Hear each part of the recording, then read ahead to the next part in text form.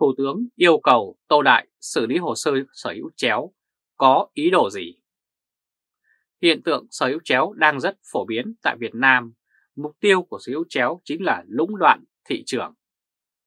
Sở hữu chéo hiện nay không chỉ là mối lo cho nhà nước mà còn là mối lo và ác cảm với các doanh nghiệp và cả người dân. Sự lũng đoạn của các nhóm này đã biến các tổ chức và cá nhân, nhà đầu tư trở thành nạn nhân. Báo chí loan tin về yêu cầu của ông Thủ tướng Việt Nam Phạm Minh Chính. Tờ báo Người Lao động vào ngày 3 tháng 5 đưa tin Thủ tướng yêu cầu Bộ Công an tham gia xử lý hồ sơ sở hữu chéo ngân hàng. Bản tin cho biết chỉ thị số 14 CT vào ngày 2 tháng 5, Thủ tướng Phạm Minh Chính yêu cầu Bộ Công an phối hợp với Ngân hàng Nhà nước xử lý dứt điểm vấn nạn sở hữu chéo. Theo đó, một trong những nhiệm vụ được Thủ tướng Chính phủ đưa ra là phải giảm thiểu tiêu cực lợi ích nhóm sân sau. Giới phân tích cho rằng nhiều năm qua vấn nạn sở hữu chéo vẫn nhức nhối tại Việt Nam. Điều này làm gia tăng một số rủi ro như tăng vốn ảo có việc đi vay để đầu tư, góp vốn để sở hữu lẫn nhau thông qua các công ty con. Ngoài ra, vấn nạn sở hữu chéo còn tạo một hệ lụy khác, đó là rủi ro thâu tóm, chi phối của nhóm cổ đông lớn và những người có liên quan. Vụ việc xảy ra tại ngân hàng SCB là một điển hình của tình trạng sở hữu chéo khi có đến 90% vốn cổ phần của ngân hàng này thuộc sở hữu của nhóm bà Trương Mỹ Lan, khiến ngân hàng đã bị chi phối, gây thiệt hại cho cả thị trường tài chính và nền kinh tế lên tới hàng chục tỷ đô la Mỹ. Sự đổ vỡ của ngân hàng SCB là một ví dụ về sự buông lỏng quản lý của nhà nước, tạo kẽ hở cho bà trùm Trương Mỹ Lan và đồng bọn lạm dụng vai trò sở hữu chéo để làm giàu bất chính và lũng đoạn thị trường kinh tế. Và kết quả, chính phủ đã phải nỗ lực can thiệp để giải cứu ngân hàng SCB bằng cách bơm tới 24 tỷ đô la để mặc cứu trợ.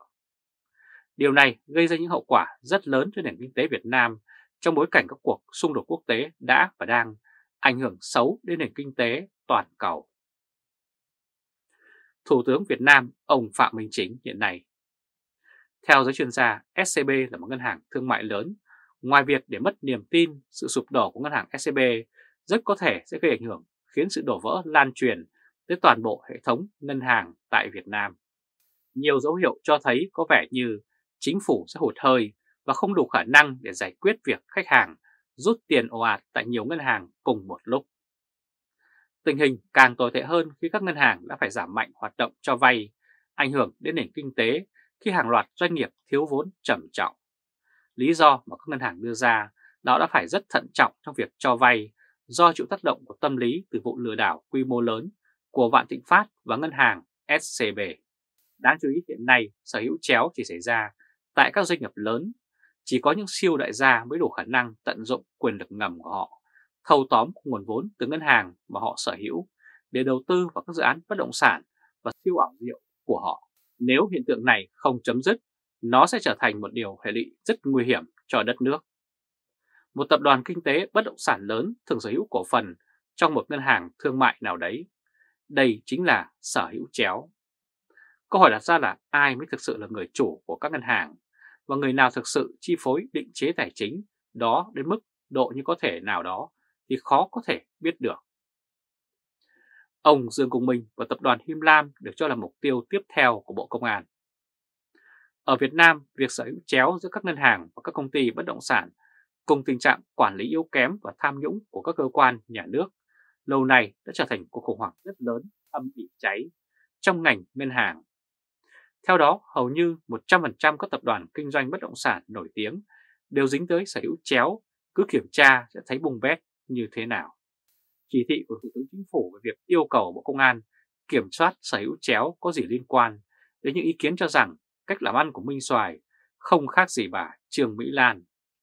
Him Lam Group của Dương Công Minh, tức Minh Xoài cũng phát hành trái phiếu, cũng huy động vốn ồ ạt, đồng thời tập đoàn này cũng vi phạm quy định về sở hữu chéo, cho vay sân sau. Cũng xin nhắc lại, sở hữu chéo là hiện tượng các doanh nghiệp và các ngân hàng nắm giữ cổ phần tại các ngân hàng khác nhau để thao túng hoạt động cho vay tại các ngân hàng. Việc sở hữu chéo nhằm đảm bảo an toàn cho hệ thống ngân hàng và an ninh tài chính, tiền tệ an toàn hơn là điều cần thiết nên cần phải xử lý dứt điểm. Quý vị và các bạn vừa theo dõi chương trình truyền hình trực tiếp của Thời báo chấm với bản tin Thủ tướng yêu cầu Tô Đại xử lý sở hữu chéo với ý đồ gì? Quý vị và các bạn hãy chia sẻ video này cho nhiều người biết và bấm nút theo dõi YouTube và Facebook của Thời báo chấm để để luôn được cập nhật những bản tin mới nhất, nhanh nhất và trung thực nhất. Từ Berlin, Cộng hòa Liên bang Đức chào các bạn và hẹn gặp lại các bạn ở bản tin lần tới. Trung Khoa, Thời báo, chấm đề. Tô Đại công bố việc bắt Mai Tiến Dũng, tương lai nào cho Trường Thị Mai? Chỉ trong hơn một năm, từ cuối năm 2022 cho đến nay, ba nhân vật trong tứ trụ quyền lực nhất của ban lãnh đạo Đảng Cộng sản Việt Nam đã liên tiếp bị tước bỏ quyền lực. Điều này cho thấy nhạc trưởng Tô Lâm quyết tâm duy trì công cuộc đốt lò, không có vùng cấm. Trong lúc này, mạng xã hội và các diễn đàn chính trị tại Việt Nam đang quan tâm tới tương lai chính trị của bà Trương Thị Mai, thường trực Ban Bí thư kiêm trưởng ban tổ chức Trung ương. Bắt tạm giam ông Mai Tiến Dũng, cựu Bộ trưởng, chủ nhiệm Văn phòng Chính phủ. Tờ báo Tuổi Trẻ vào ngày 4 tháng 5 đưa tin bắt tạm giam ông Mai Tiến Dũng, cựu Bộ trưởng, chủ nhiệm Văn phòng Chính phủ. Bản tin cho biết ông Mai Tiến Dũng đã bị cơ quan điều tra công an khởi tố bị can, bắt tạm giam. Thông tin này được Trung tướng Tuân Sô công báo tại buổi họp báo chính phủ thường kỳ vào ngày 4 tháng 5 Ông Mai Tiến Dũng bị điều tra về tội lợi dụng chức vụ quyền hạn trong khi thi hành công vụ. Đáng chú ý, ông Mai Tiến Dũng bị bắt với cáo buộc có sai phạm liên quan đến dự án khu đô thị thương mại du lịch, nghỉ dưỡng sinh thái Đại Ninh ở Lâm Đồng. Theo giới quan sát, sau khi tin bắt ông Mai Tiến Dũng được truyền thông nhà nước công bố, trên mạng xã hội đã dấy lên suy đoán cho rằng đây là lời cảnh cáo của ông Tô Lâm và Bộ Công an nhằm tạo áp lực với bà Trương Thị Mai để buộc bà phải nhận ghế chủ tịch nước. Đồng thời, công luận cố gắng giải thích lý do vì sao bà Mai từ chối chiếc ghế Chủ tịch Quốc hội như tin đồn. Giữa lúc có những ý kiến cho rằng Bộ trưởng Tô Lâm không muốn ngồi với chiếc ghế giữ đó và Chủ tịch nước mà không ai muốn cả, mà ông lại muốn ngồi vào ghế Chủ tịch Quốc hội để tiện cho việc chuyển sang ghế Tổng Bí Thư nhiệm kỳ tới. Lâu nay bà Mai mang nhiều điều tiếng liên quan đến việc bị cho là có vây cánh lớn ở Lâm Đồng Đồng thời, bà Mai cũng bị cáo buộc dính líu đến siêu dự án khu đô thị thương mại nghỉ dưỡng sinh thái Đại Ninh. Đây là dự án đã khiến nhiều lãnh đạo cấp cao của tỉnh Lâm Đồng phải tra tay vào còng như Trần Đức Quận, Bí thư tỉnh ủy, Trần Văn Hiệp, Chủ tịch Ủy ban nhân dân tỉnh, Nguyễn Ngọc Ánh, Tránh thanh tra. Những người này đã bị cơ quan cảnh sát điều tra Bộ Công an bắt giam với các buộc lợi dụng chức vụ trong khi thi hành công vụ và nhận hối lộ.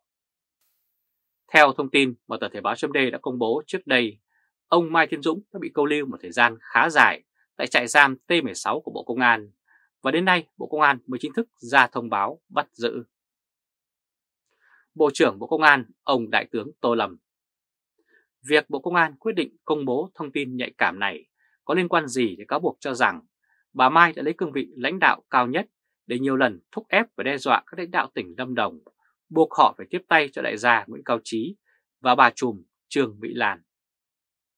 Kể cả cáo buộc cho rằng bà Mai đã được bí thư tỉnh Lâm Đồng, Trần Đức Quận xây cho nhà riêng bằng tiền tham nhũng ở thành phố Hồ Chí Minh.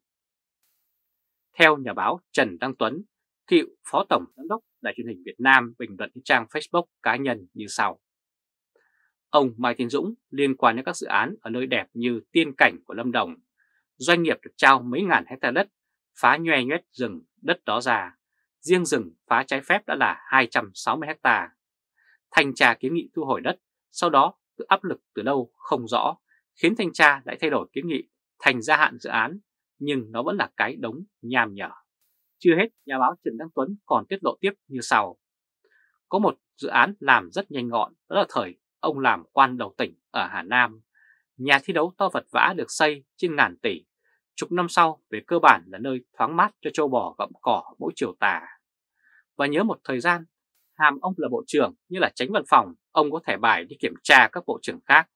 Khi đảm nhận nhiệm vụ bộ trưởng, chủ nhiệm văn phòng chính phủ và người phát ngôn của chính phủ, tôi đã rất lo. Tổng bí thư Nguyễn Phú Trọng và bà Trương Thị Mai Theo giới phân tích, tương tự như việc Bộ Công an sử dụng bí thư huyện ủy băng thít Đặng Trung Hoành để ép ông Võ Văn Thưởng hay dùng Phạm Thái Hà, Phó chủ nhiệm văn phòng Quốc hội để ép ông Vương Đình Huệ, khiến cả hai ông này phải chấp nhận ra đi, thì khả năng cao Mai Tiến Dũng sẽ là chìa khóa để Bộ Công an làm rõ các sai phạm của bà Trương Thị Mai, buộc bà phải ra đi. Chúng ta hãy cùng chờ xem. Quý vị và các bạn phải theo dõi chương trình truyền hình tiếp của Thời báo chấm với bản tin Tô Đại công bố việc bắt Mai Tiến Dũng và tương lai nào cho Trương Thị Mai. Quý vị và các bạn hãy chia sẻ video này cho nhiều người biết và bấm nút theo dõi YouTube và Facebook của Thời báo chấm để luôn được cập nhật những bản tin mới nhất, nhanh nhất và trung thực nhất. Từ Berlin, Cộng hòa Liên bang Đức chào các bạn và hẹn gặp lại các bạn ở bản tin lần tới.